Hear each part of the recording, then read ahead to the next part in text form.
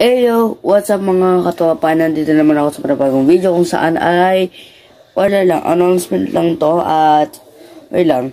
So, nag, so ngayon ay Roblox is down so hindi tayo makakapaglaro ng mga favorite games natin sa Roblox.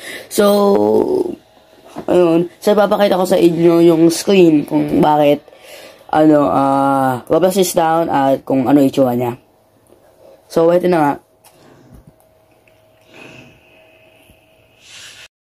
So, ito yung ano, yung home screen ko. Ayan, pumunta ako sa Roblox at ayun, naglo-load na nga yung Roblox. Uh, ito na nga yung ano, yung results. Ayan.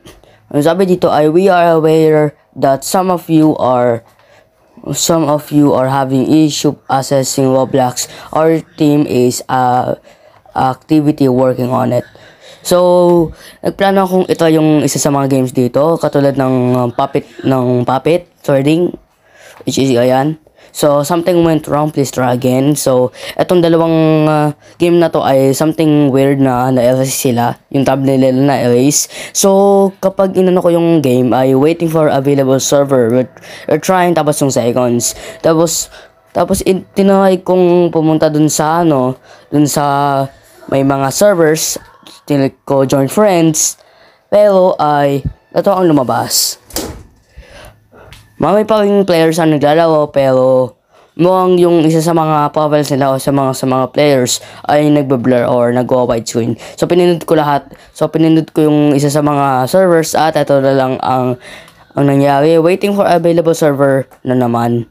At ayan na nga ang nangyari sa mga games. So, ayan nga. So, hindi natin ma wala tayong malalaro na games dahil nga Roblox is down at walang mga working games ngayon sa Roblox dahil inaayos pa nila daw inaayos pa nila Roblox yung ano yung mga yung mga kailangan nilang gawin. So ayun na nga uh, tinan ko din yung avatar ko, ayan yung classic shirts. Ayan, matagal din sa matagal din sila mag-load pero nakita ko naman yung results kung bakit kung bakit ang Roblox is down, ayan. So, hintayin muna natin mag-load yung mga shirts hanggang sa, ayan. So, ayan ang lumabas. So, mga, hindi ko makita yung mga shirts, mga pictures na lang, mga ganyan, mga blank pictures. So, ayan. So, pinili ko naman yung, yung classic t-shirts at ayan yung lumabas. Dalawa lang na t-shirt ang lumabas. Pero, hintayin muna natin yung iba. Ayan. Tapos, yung classic pants ay may problema din. No items found. Pero, it's kind of weird kasi may binili akong ano, may binili ta naman akong mga pants. Kaya, nirefresh ko siya. Pero, wala namang nangyari. So, yun lang.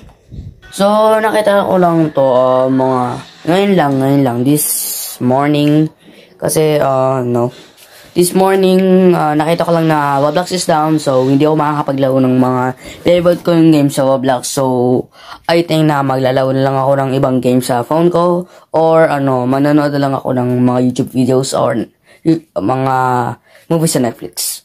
Yun nga. So, ayun lang. So, ayun lang yung today's video. So, maikli lang. So, so, make sure na, so, make sure na like at ang subscribe ang at i-click yung notification bell for more videos. So, ayun lang. So, so ingat kayo palagi and thanks for watching and goodbye gamers.